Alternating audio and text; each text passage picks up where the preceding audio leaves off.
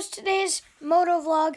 If you're new, subscribe, like the video, and comment down below what you think I should do for my next video, and that really helps. So, yeah, like I said, subscribe, and peace out.